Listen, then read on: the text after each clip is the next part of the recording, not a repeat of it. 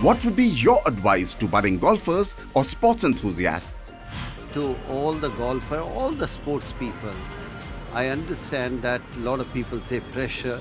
Enjoy yourself, and uh, if you are professional, just work hard on that. Tell us about the HSBC Golf League app, India's first indigenous golfing platform.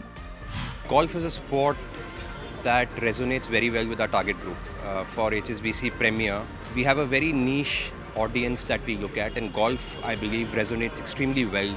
This year, we've made complete changes to the app, changed the UI, UX, you know, the entire feel.